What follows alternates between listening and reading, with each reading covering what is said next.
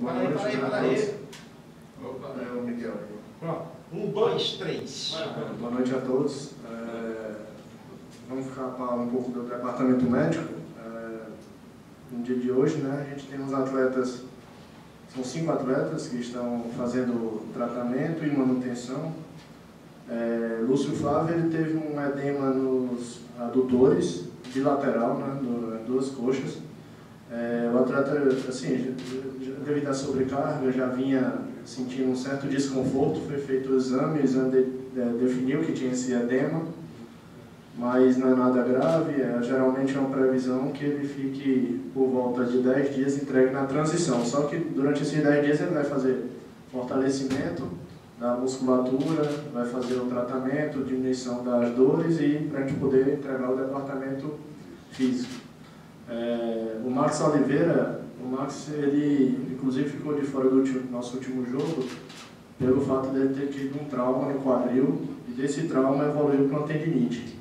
Essa tendinite no quadril é, impossibilitou o atleta de, de, de treinar, por isso que ele foi vetado e, consequentemente, é, assim, está fazendo tratamento e a previsão é que na próxima semana, segunda ou terça-feira, ele esteja também entregue à transição. O atleta Marcelo Boeck, ele teve uma, uma ciatalgia é, secundária a uma síndrome que a gente chama do piriforme. Piriforme é um, é um tendão um, que fica aqui na região também da, da, da pelve, puxando para o quadril, que quando ele tem alguma inflamação, pode ser por uma série de fatores, inclusive fator traumático, ser goleiro, sobrecarga, é, uma queda, ele pode ter inflamado e disso ter feito a compressão neurológica. É um tipo de nervo, né, nervo ciático, que ele irradia para o membro inferior e o atleta estava com sintomatologia bem característica, impossibilitando ele de exercer a sua função. Consequentemente, ele também não teve condição 100% de estar no jogo, está fazendo tratamento fisioterápico, está evoluindo bem.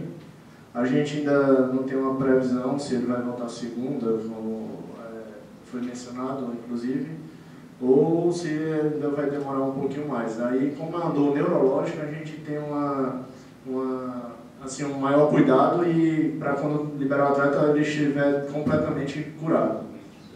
Certo? O outro é o Rony, que ele teve um desconforto na coxa proximal, é, a nível do reto femoral e dos adutores. É, o atleta está fazendo a fisioterapia, vai ser submetido a um exame de imagem amanhã, e para a gente avaliar se é só esse desconforto, se tem algum edema ou diagnosticado alguma lesão. É, a gente vai ter o prognóstico a partir desse exame.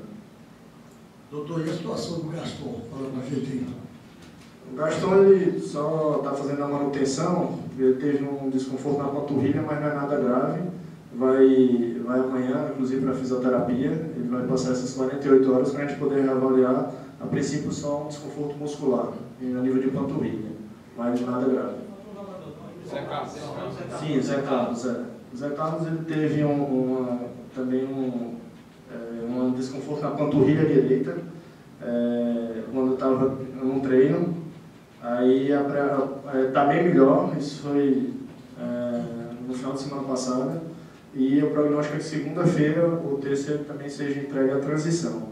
Esse geralmente é uma lesão na panturrilha, um edema bem pontual, localizado. O atleta já está fazendo trote, bicicleta, é, movimentos sem dor. Aí a gente está só fazendo fortalecimento com a fisioterapia para poder liberar ele completamente para o departamento físico.